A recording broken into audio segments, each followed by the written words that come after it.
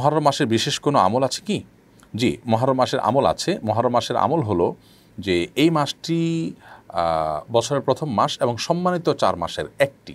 সম্মানিত চার মাসের একটি হিসাবে এই মাসে আমরা নিজের প্রতি নিজে পাপাচার এবং অপরাধ করে অত্যাচার, অবিচার করা থেকে বিশেষভাবে বিরত থাকব। কারণ আল্লাহ তালা বলেছেন ভ্যালিকা দিনুল কাইম ফালা তজলিম ফিহিন আংফুসাকুম সম্মানিত মাসসমূহে তোমরা নিজেদের প্রতি নিজেরা অবিচার করো না। অতএব অন্যান্য মাসের তুলনায় এই মাসগুলোতে নিজেদের প্রতি নিজে অবিচার করা থেকে বেশি বিরত থাকার চেষ্টা করতে হবে। পাপাচার থেকে বেঁচে থাকার পরে বিশেষ কসরত করতে হবে।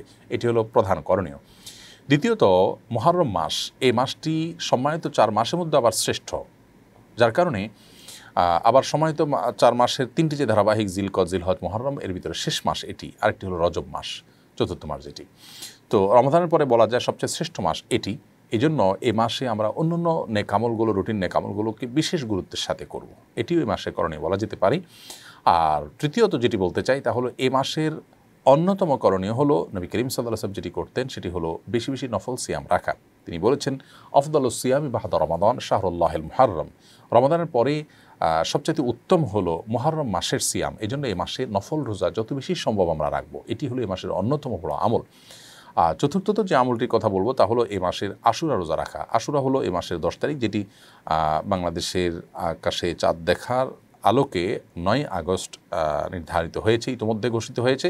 অতএব নয় আগস্ট আশুরার সিয়াম পালন করা এই বছরের জন্য, অর্থাৎ দুই হাজার বাইশ সালের জন্য নয় আগস্ট আমরা সিয়াম পালন করব এবং তার একদিন আগে অথবা একদিন পরে যুক্ত করে মোট দুটির সিয়াম পালন করব। কারণ নবী করিম সাল্লাহ সাল্লাম আশুরা সিয়াম একটি না রেখে আমাদের দুটি রাখার পরামর্শ দিয়েছেন। আর তিনি নয় এবং দশ রাখার ব্যাপারে আগ্রহ প্রকাশ করেছিলেন তার ওয়াফাতের বছর। এজন্য নয় এবং দশ, অর্থাৎ আপনার আগস্টের কথা যদি বলি এই বছর, তাহলে সেক্ষেত্রে আট এবং নয়। এই দুই দিন আমরা আশ্রয় সিয়াম পালন করব এই বছর, অর্থাৎ দু হাজার বাইশ সালে। আর কেউ যদি এই দুই দিন রাখতে না পারেন, তাহলে তিনি নয় এবং দশই আগস্ট আশুরা সিয়াম পালন করবেন দুটি। নয় তারিখ হলো আশুরা, তার সাথে এগারো, এগারোই মহরম, যেটা আগস্টের আপনার দশ তারিখ হয়, সেই দিনে তিনি সিয়াম পালন করবেন। তো এভাবে আমরা এই চারটি আমলের মাধ্যমে মহরম মাসটিকে কাটাতে পারি। আল্লাহ তালা আমাদেরকে তৌফিক দান করুন।